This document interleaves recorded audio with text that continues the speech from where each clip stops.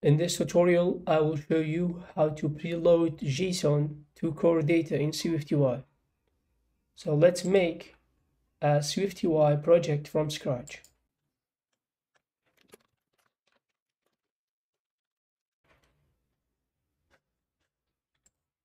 Let's add a JSON to our project. I will drag my JSON file like this and also you make your JSON.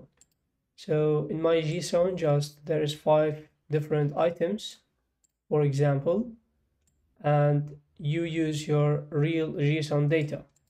We will test on this JSON. So let's make a core data. Right click on your main folder and click new file. Select data model and click next. So here just type your main folder name and let's make it. So here we should add entity for our data. If you remember my JSON file, it's about items, okay? So we should add an entity called item and open new entity and click on it, change entity name to your items name. I name it item. Okay, so here we should add attribute. It is an ID, okay? And the type is string. Also add a new one, name it name, and it is also string. Now we can close our core data.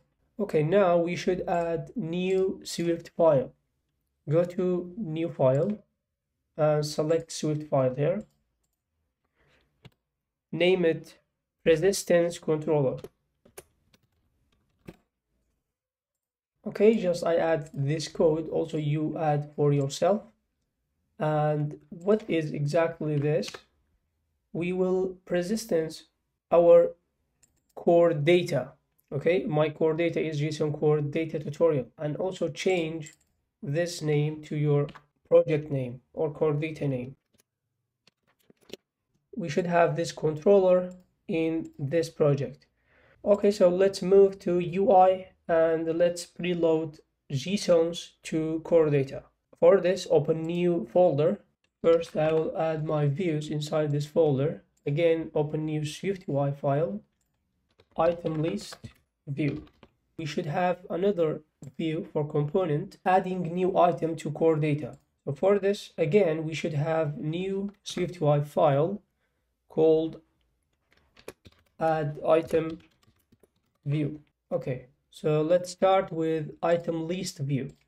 Write environment, manage object context and private variable, name it view context.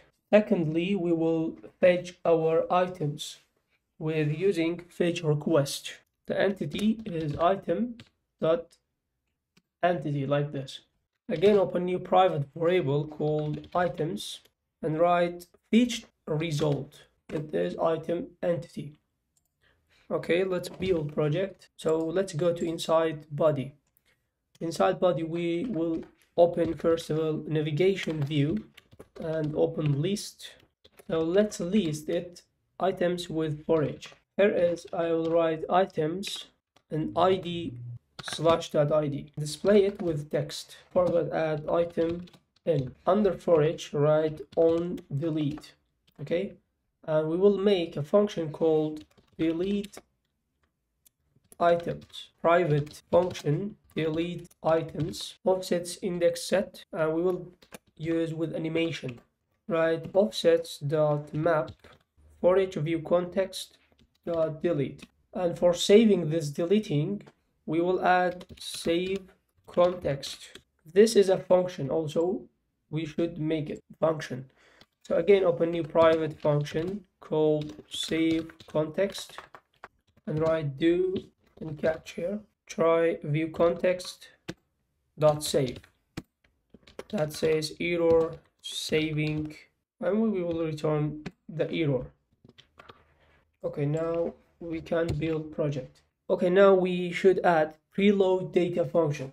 So again, open new private function called preload data. First of all, we will get our JSON URL. bundle main dot URL. Mine is data, like this. And with extension, it is a JSON file. And write else return. So now let's add do and catch. So open do, like let data equal to try. So under struct, we should go to outside of this track to add this model and let id string, let name string. Okay, so now inside this array write item data and from data. That was the URL.